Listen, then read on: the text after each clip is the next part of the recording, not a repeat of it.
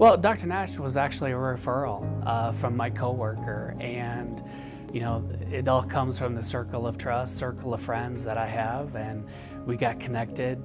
And ever since then, it's just been a great working experience. When a referral comes from somebody that I like and trust and know very well, it really makes me say, man, I got to make sure that I'm on my P's and Q's and give him the utmost respect because my, my referral has referred him for a reason. So Dr. Nash has been very upfront with every detail. So the entire process only took about a month and a half. It's very, very fast, very streamlined. He was ready. He gave me his specs on what he wanted to go see.